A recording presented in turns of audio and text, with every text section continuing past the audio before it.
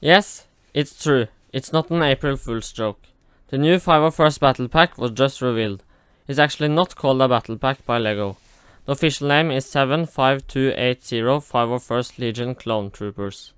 The set contains 285 pieces and will retail for $30. The release date is August 1st. The set includes 3 normal 501st Troopers and 1 501st Trooper with a jetpack. It also comes with 2 generic battle droids. The new 501st Troopers look amazing. I definitely think the older 501st Troopers will go down in value because the new Troopers are way better. The set comes with two amazing builds, a BARC Speeder and an AT-RT. The BARC Speeder looks really good. It reminds me of the BARC Speeder from set 75012 BARC Speeder with sidecar.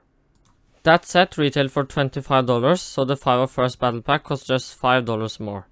It doesn't include a sidecar or a speeder for the droids, but it does come with a very nice ATRT.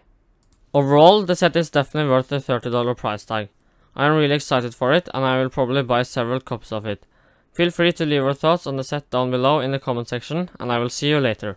Sir Bricks, out.